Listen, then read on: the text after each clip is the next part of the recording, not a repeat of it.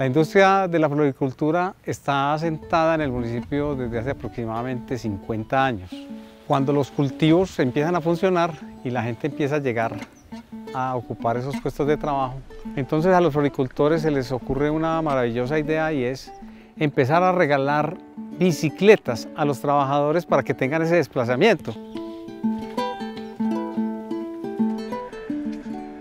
Y se empezó a motivar eso y se volvió una generalidad para todos los cultivos. Entonces todos los habitantes empiezan a desplazarse en, para su lugar de trabajo en bicicleta. La altitud a la que estamos nosotros ubicados sobre el nivel del mar se convierte también en otro factor importante. La infraestructura que tenemos en vías, nosotros tenemos unas vías que no son muchas, pero las que tenemos son muy buenas. A través del tiempo se ha generado un respeto por el ciclista,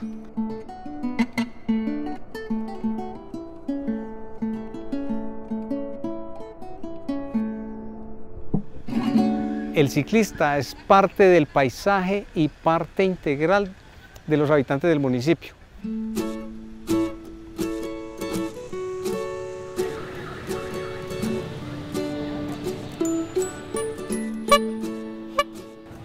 Conscientes de nuestro patrimonio y nuestra cultura, La Ceja es un municipio de bicicletas y de flores. Nos dimos la tarea que vamos a tener para albergar bicicletas. Tomando como ejemplos, digamos, los parqueaderos que utilizaban en los cultivos, empezamos a sacar unos modelos de parqueaderos que los, vamos, los hemos ido instalando en el parque principal. La gran mayoría de personas que ponen su bicicleta son gente, adultos mayores y madres que vienen con sus niños a hacer las diferentes vueltas, los diferentes mandados a los supermercados. Por tradición siempre vienen nuestros adultos mayores aquí a comercializar sus relojes, a hablar con los amigos. Este punto era el primordial para nosotros porque se albergan la mayor cantidad de ciclistas. Tres, cuatro factores esenciales para que un ciclo parqueadero sea efectivo. Uno, que converjan, que haya multitud de bicicletas, como lo hay acá. Dos, que tengamos seguridad para que el ciclista pueda tener su bicicleta, pueda amarrarla pueda engancharla, asegurarla y que no se la roben.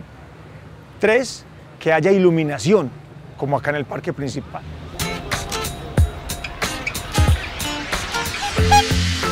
Este ejemplo nos genera unas amplias expectativas de seguir trabajando, de seguir aportándole más a nuestro municipio, a nuestra movilidad, movilidad sostenible, reducciones de carbono. Entonces eso nos ayuda muchísimo, pero generamos retos de dónde más vamos a poner cicloparqueaderos, ya lo hablamos que en otros puntos del parque principal, pero tenemos otros diferentes puntos como Confama, los colegios, las iglesias, eh, la central integradora de transporte y lo más importante es que dentro de los planes de desarrollo siguientes esto se tenga que adoptar y se pueda multiplicar. Para nosotros, además de un orgullo, se, se forma como un reto adicional. ¿Cómo vamos nosotros a motivar, a, innovar, a llevar como ejemplo el municipio ante el departamento, ante Colombia y ante el mundo, que era una cosa que no habíamos pensado. Pero ya que nos presenta el reto, vamos es para adelante.